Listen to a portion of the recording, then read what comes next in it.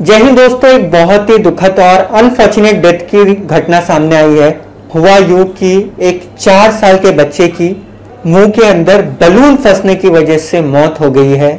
वो बच्चा अपनी बहन के साथ बलून के साथ खेल रहा था और बलून को फुलाने के वक्त बलून मुँह के अंदर चले गया और कहीं ना कहीं वो ट्रॉट में फंस गया, जिसके बाद बच्चा खांसने लगा और उसे सांस लेने में तकलीफ़ होने लगी और उस बच्चे की दुखद मृत्यु हो गई, क्योंकि वो सांस नहीं ले पा रहा था सही तरीके से।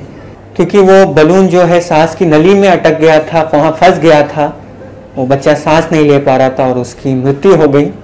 जितनी मुझे जानकारी है, उसे दो हॉस्पिटल में ले जाया गया था पहले, जिसके बाद उसे नानावती हॉस्पिटल में लेके जाने के बाद, वहाँ वो नानावती हॉस्पिटल में उसे डेड डिक्लेयर किया गया।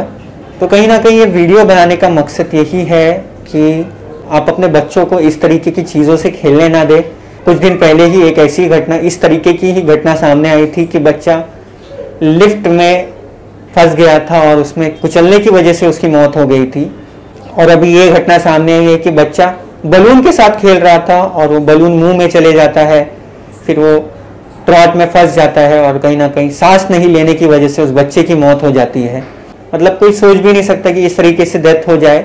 तो कहीं ना कहीं इस बातों पर आप ध्यान रखें, अपने बच्चों को इन चीज़ों से दूर रखें। लिफ्ट में अकेले, लिफ्ट अकेले ऑपरेट करना करने ना दे।